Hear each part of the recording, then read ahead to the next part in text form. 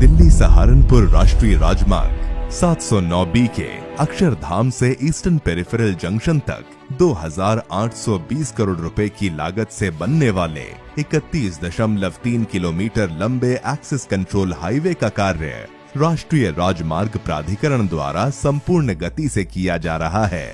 अक्षरधाम मंदिर से eastern peripheral expressway के मावी कला जंक्शन तक का ये हाईवे भविष्य में दिल्ली मेरठ एक्सप्रेसवे को दिल्ली देहरादून एक्सप्रेसवे एवं ईस्टर्न पेरिफेरल एक्सप्रेसवे से जोड़ेगा। इस हाईवे का कार्य दो पैकेजों में, यानी अक्षरधाम से यूपी बॉर्डर एवं यूपी बॉर्डर से ईस्टर्न पेरिफेरल एक्सप्रेसवे के मावी कला जंक्शन तक किया जा रहा है।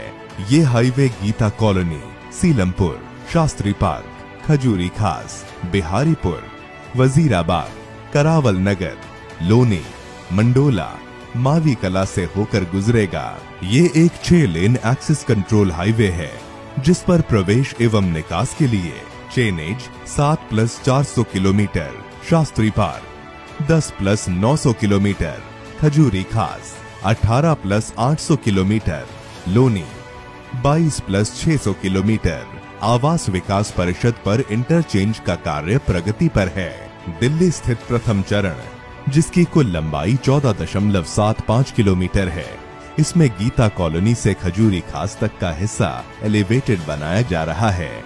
इसके 256 पिलर में से 121 पिलर का कार्य पूर्ण हो चुका है। इसी के साथ तीन तीन लेन की दोनों साइड सर्विस रोड के साथ साथ पैदल यात्रियों एवं छोटे वाहनों के लिए पाँच अंडरपास बनाए जा रहे हैं। इस भाग में 10 बड़े एवं 15 छोटे जंक्शन का विकास कार्य प्रगति पर है। प्रथम चरण का कुल कार्य 40 फ़ीसदी पूरा किया जा चुका है। उत्तर प्रदेश राज्य में योजना के द्वितीय चरण की लंबाई 16.57 किलोमीटर है। इसमें पुलिस चौकी से मावी गाँव तक 12.20 किलोमीटर लंबाई का भाग एलिवेटेड है। इस भाग में तीन अंडरपास का निर्माण किया जा रहा है। साथ ही इसमें पाँच बड़े जंक्शन व 19 छोटे जंक्शन का विकास किया जा रहा है। वाहनों के सुचारू संचालन और सुरक्षा को ध्यान में रखते हुए इस परियोजना के अंतर्गत हाईवे के दोनों ओर सर्विस लेन बनाई जा रही है। तेज़ी से चलने वाले वाहन सिर्फ़ मुख्य हाईवे पर चलेंगे, जिससे ट्रैफ़िक जाम और दुर्घटनाओं को कम किया जा सकेगा।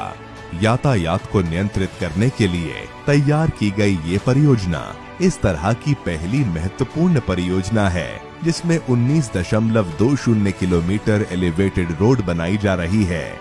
ये परियोजना 48 फ़ीसदी तक पूरी हो चुकी है। दिल्ली से ईस्टर्न पेरिफेरल जंक्शन तक का कार्य संपूर्ण रूप से मार्च 2024 में संभावित है। धन्यवाद। National highway authority of India not just roads, building a nation.